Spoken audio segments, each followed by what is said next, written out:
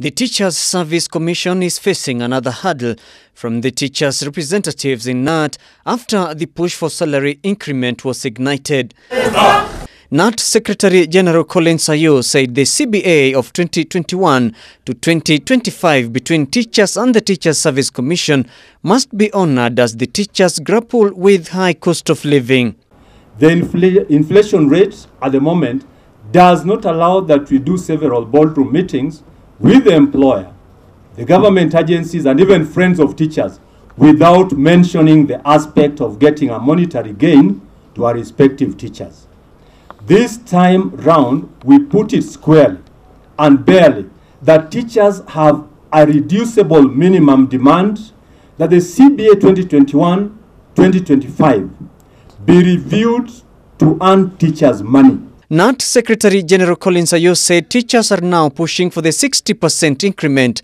Two weeks ago, the TSC and Teachers Union retreated to Naivasha for a possible review of the CBA, among other issues. We are reminding SRC of the same.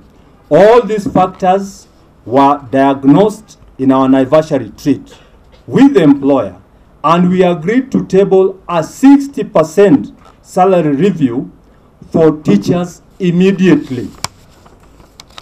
I trust and believe that the teachers of Kenya can begin our conversation from this standpoint. The conversation, as I speak now, is about 60% salary increment. We have commenced and structured negotiation process with the employer to see to it that the percentage, that is 60% rise, is awarded to teachers.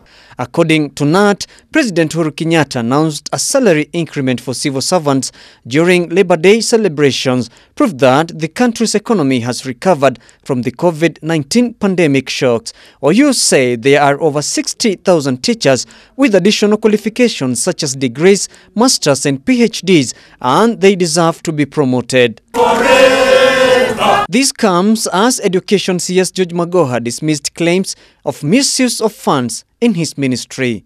Do you think government money will be stolen under my watch? What the hell do you think I'm doing here now?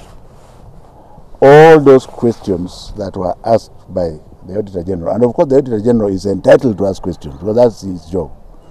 All those questions were satisfactorily answered